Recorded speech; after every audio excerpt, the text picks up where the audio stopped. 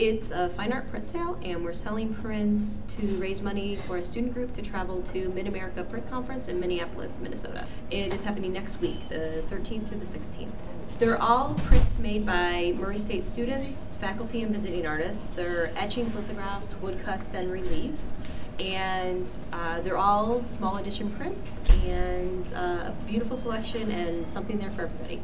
We're here to raise money. It's all for scholarship, uh, travel. Uh, $20 each, or we have some prints for $10 each. We also, in addition, this year we're selling blank books, uh, which are hand-bound books by students as well, which are great for journals and sketchbooks and beautifully designed books. And those start $5 and go up to $25. It'll be going on today from 10 till 3.